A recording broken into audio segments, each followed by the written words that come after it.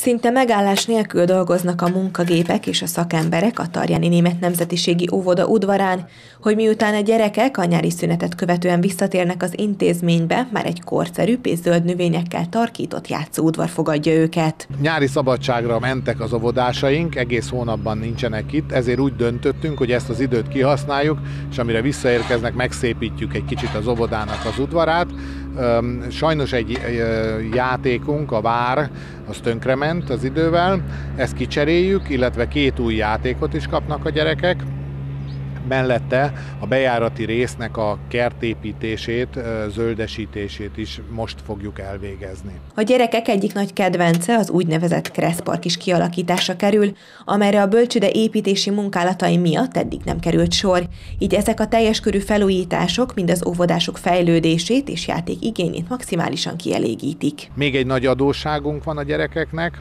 a bölcsőde építés során egy kis részét az óvoda udvarnak elvettük, ezt most visszakapják, és a nagyon-nagyon szeretett Kressz parkjukat is továbbépítjük ebben az új részben. Ezek a munkálatok mind önkormányzati, önerős beruházások. Hát igazán határideje nincs, de nagyon azon vagyunk, hogy amire visszaérkeznek a gyerekek augusztus 1-ére, addigra már készen legyünk ezekkel a munkákkal. A fejlesztéseknek és a korszerűsítéseknek köszönhetően már egy modernebb, zöldebb és biztonságosabb intézménybe terhetnek vissza a tarjáni óvodások.